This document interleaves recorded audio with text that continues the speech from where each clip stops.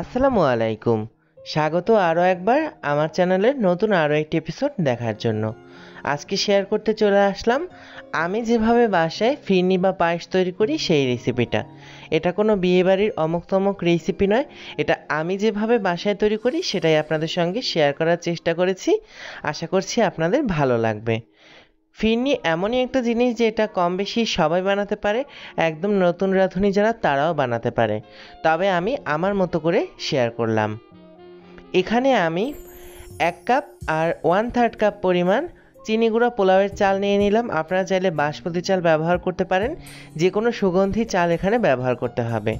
এবার এটাকে ধুয়ে একটা স্ট্রেইনারে করে ঝরা দিয়ে নিতে হবে। এই ফাঁকে আমি আরও কিছু প্রিপারেশন করে নিচ্ছি। সেই জন্য এখানে দেড় টেবিল চামচ মতো কাজু বাদামের ভেতরে কিছুটা উষ্ণ গরম দুধ দিয়ে এটাকে ভিজিয়ে রাখব, পরে এটাকে পেস্ট করে নিব আবারও কিছু কুসুম গরম দুধ নিয়েছি, এর মধ্যে কিছুটা জাফরান ভিজিয়ে রাখছি, এটা আমি ফিরনিতে ব্যবহার করব।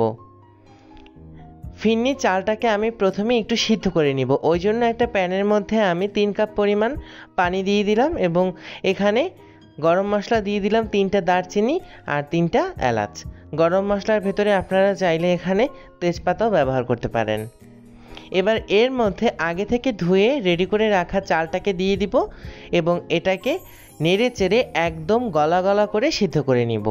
অনেকেই যেটা করে দুধের মধ্যে ডাইরেক্ট চালটা দিয়ে দেয়, সেই ক্ষেত্রে ফিরনিটা হতে অনেক বেশি টাইম লেগে যায়, আবার পুড়ে যাওয়ারও সম্ভাবনা থাকে, তাই এভাবে চালটা সিদ্ধ করে বানালে ফিরনি হবে একদম পারফেক্ট। চালগুলো সিদ্ধ হয়ে একদম হাঁড়িটা ভরে গিয়েছিল, যার কারণে এটা আমি যেই বড় হাঁড়ির মধ্যে ফিনিটাকে রান্না করব, সেই হাঁড়িতে নিয়ে নিলাম এবং মিডিয়াম হিট এটাকে ভালোভাবে দশ মিনিটের মতো নাড়িয়ে চাড়িয়ে একদম গলা গলা করে সিদ্ধ করে নিব।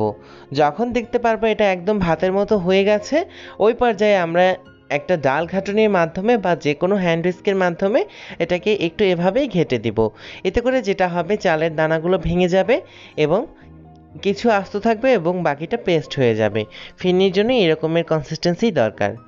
এবার এখানে স্বাদমতো চিনিটা দিয়ে দিব। আমি এখানে এক কাপ আর ওয়ান থার্ড কাপ চালের জন্য দুই কাপ পরিমাণ চিনি ব্যবহার করছি। আপনারা এটা নিজেদের পছন্দ অনুসারে বাড়িয়ে বা কমিয়ে দিতে পারেন। চিনির স্বাদ অ্যাডজাস্ট করার জন্য এখানে লবণ দিতে হবে। একটুখানি আমি প্রায় ওয়ান থার্ড চামচ মতো দিলাম।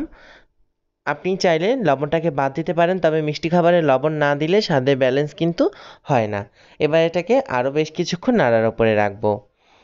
এই ফাঁকে আমি এখানে পাঁচশো গ্রাম পরিমাণ গুঁড়া দুধ নিয়ে নিচ্ছি। গুঁড়া দুধটা আপনারা নিজেদের পরিমাণ মতো বাড়িয়ে বা কমিয়ে দিতে পারবেন, যতটা আপনারা পছন্দ করেন। এবার আমি এখানে রুম টেম্পারেচারে থাকা পানি দিয়ে এটাকে ভালোভাবে গুলিয়ে নিব।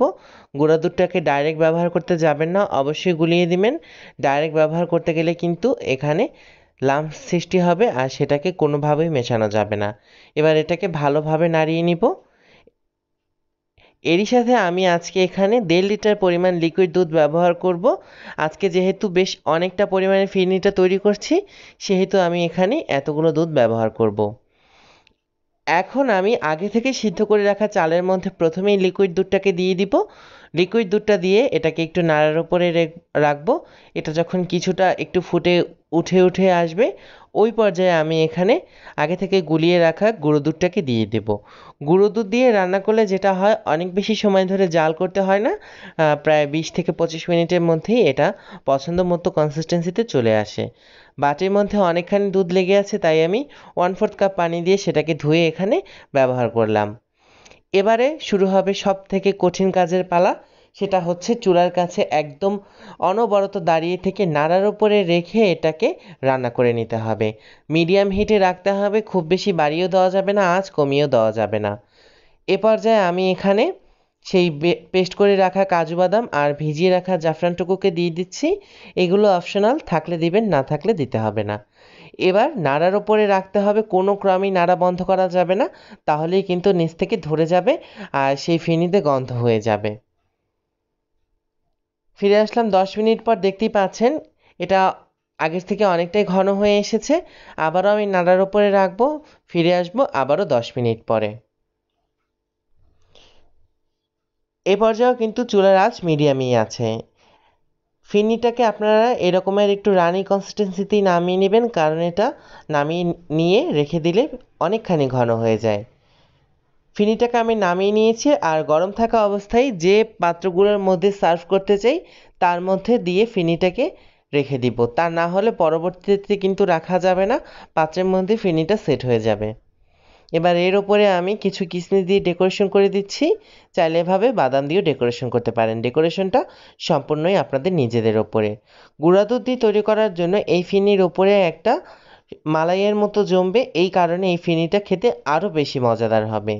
চাইলে এভাবে কিছু জাফরান দিয়ে সাজিয়ে নিতে পারেন। আজকের এই ফিনিটা বেশ অনেকখানি হয়েছে। আমি এখন এর ওপরেও কিছু কিশমিশ দিয়ে সাজিয়ে দিচ্ছি। আসলে সব কিছু একটু সুন্দর না দেখালে তো আর ভালো লাগে না, তাই না? আমি এখন আপনাদের সঙ্গে একটু কেটে শেয়ার করছি। এটাকে আমি ফ্রিজে সেট হতে দিয়েছিলাম প্রায় দু থেকে তিন ঘণ্টার জন্য। আর দেখতেই পাচ্ছেন এটার কনসিস্টেন্সিটা কত ক্রিমি আমি আশা করছি আপনাদের এই ভিডিওটি ভালো লেগেছে। ভালো লেগে থাকলে আমার চ্যানেলটিকে অবশ্যই সাবস্ক্রাইব করবেন।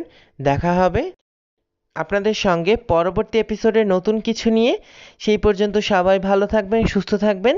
সেই প্রত্যাশায় আমি আজকের মতো বিদায় নিচ্ছি। আল্লাহ হাফিজ।